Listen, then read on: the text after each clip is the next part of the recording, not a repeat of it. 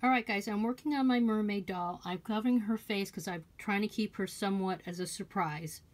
But I'm not sure. I want to give her ears. And I don't know, should I go with the, the uh, these little pointy ears like this? Keep in mind she's a mermaid. Or the larger pointy ears. Her hair is this teal color and she's going to have some of it here in the front and then an ear here like this. I have to have to stick these on with, um, you stick them on with tacky stick stuff. So, um, I, I'm having trouble deciding. Guys, should I go with the skinny ones or the whiter ones? Let me know in the comments.